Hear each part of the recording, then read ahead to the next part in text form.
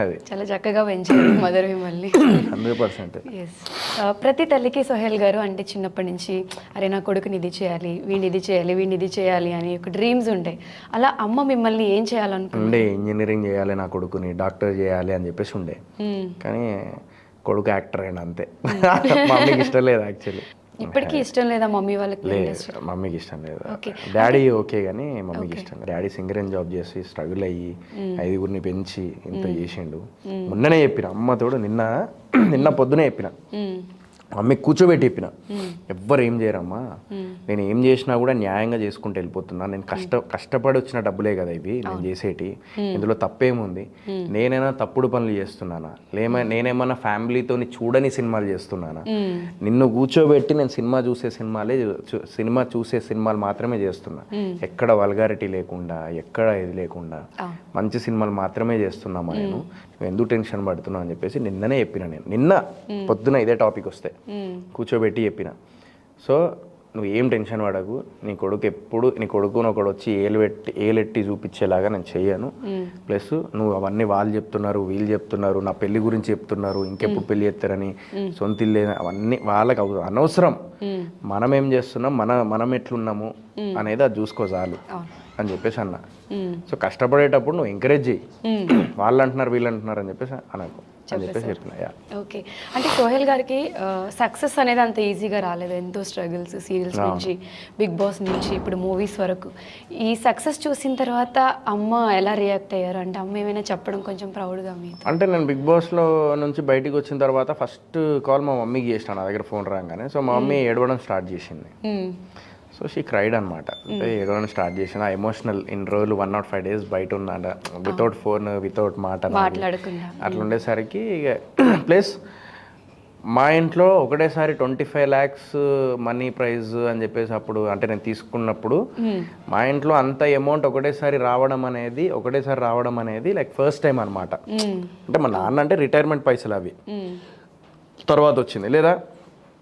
మా sisters marriage ఉన్నప్పుడు like acres అమ్మి ఆ, ఒక ఎకరం అమ్మేసి అట్లా చేసి పెళ్ళి చేసిన ఇది ఉండే సంపాదించింది మళ్ళా అమ్మేసి మళ్ళీ పెళ్ళి అట్లా చేసాడు.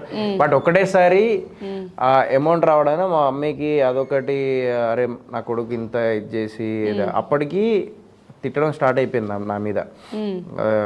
డబ్బులు తీసుకొని వచ్చేసిండు. అది ఇది అనే రూమర్స్ వచ్చినా కూడా ఆ బాధ ప్లస్ ఈ సంతోషం రెండు చూసేసరికి ఇదే. బట్ ఆ అమౌంట్ మా సిస్టర్ మ్యారేజ్కి నాకు ఉపయోగపడ్డది. గ్రేట్ అది.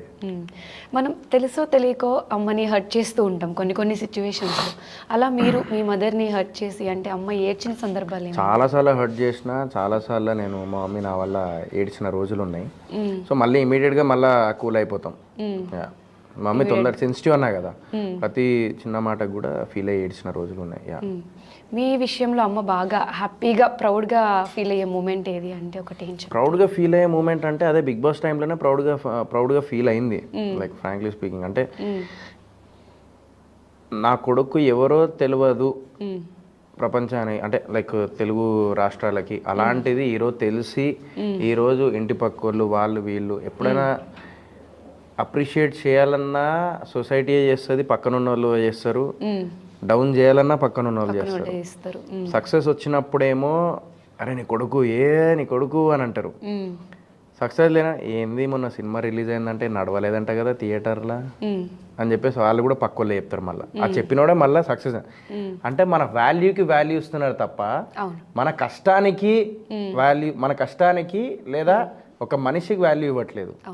సో వాల్యూకి వాల్యూ ఇస్తున్నారు. సో అలాంటి వాళ్ళని అక్కడ దాకే ఉంచాలని చెప్పేసి నేను అనుకుంటా ఓకే. మీరు అమ్మ విషయంలో బాగా బాధపడుతున్న సిచ్యువేషన్స్ ఏమైనా ఉన్నాయా? అమ్మ విషయంలో బాధపడుతున్నా అంటే మా మమ్మీకి actually like creatine levels up and downs అవుతూ ఉంటాయి. షుగర్ పేషెంట్ బీపీ థైరాయిడ్ ఉంది. సో ఇప్పుడు లైక్ చిన్న సెవెంటీ పర్సెంట్ ఆఫ్ విజన్ మాత్రమే కనిపిస్తుంది. సో అది ఒక ఇంజెక్షన్ ఇచ్చి సంథింగ్ ఏదో చేసి ఆపరేషన్ చేయాలి ఇది తర్వాత కిడ్నీస్ అటు ఇటు ఫ్లిక్చుయేట్ అంటే అదే క్రియేటిన్ లెవెల్స్ అని ఉంటుంది. అది కొంచెం హోమియోపతి టాబ్లెట్స్ యూజ్ చేస్తూ కొంచెం కంట్రోల్లో ఉంది. ఒంట్లో బాగుండట్లేదు మమ్మీ అటు ఇటు. లైక్ ఒకసారి జ్వరం వస్తుంది ఒకసారి కాఫ్ వస్తుంది. సో ఇవన్నీ ఏంటంటే షుగర్ వల్ల అలా ఇదైందనమాట so now she okay. But ఏంటంటే అదొకటే భయం ఉంటుంది. రేపు క్రియాటిన్ లెవెల్స్ ఎక్కువ అయిపోతే డయాలసిస్ వెళ్ళే స్టేజ్ వస్తుందేమో కిడ్నీ ట్రాన్స్ప్లాంట్ అని చెప్పేసి ఉంటుంది. ఇవన్నీ ఉంటాయి. సో దీనికోసం ఇంకా నేను ఫ్యూచర్లో హ్యావ్ టు బీ ప్రిపేర్ అది అదే టైంలో మా తమ్ముడు ఇప్పుడేమో యూఎస్ వెళ్తున్నాడు. నెక్స్ట్ మంత్ ఆడికి సింగరేన్ జాబ్ వచ్చి ఉండే అది మానేసి ఇప్పుడు యూఎస్కి ఒక టూ మంత్స్లో అట్లా వెళ్ళాలి. ఇప్పుడు నేనే చూసుకోవాలి మొత్తం సో ఇంకా రెస్పాన్సిబిలిటీ ఎక్కువ. ఇన్ని రోజులు మా తమ్ముడు కూడా పాపం హాస్పిటల్ తీసుకెళ్ళడము. కానీ మా మమ్మీకి మా డాడీకి నేను ప్రతి నెల